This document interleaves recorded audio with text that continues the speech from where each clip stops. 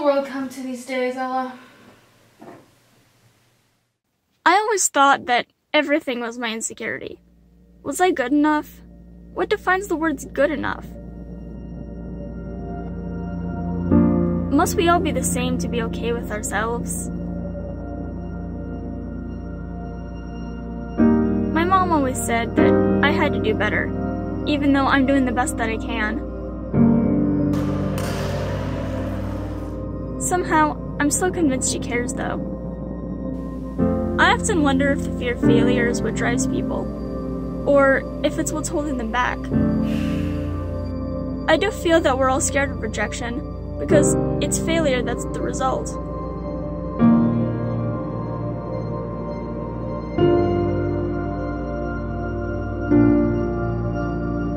Putting this story together, the saying, everything happens for a reason, still lingers.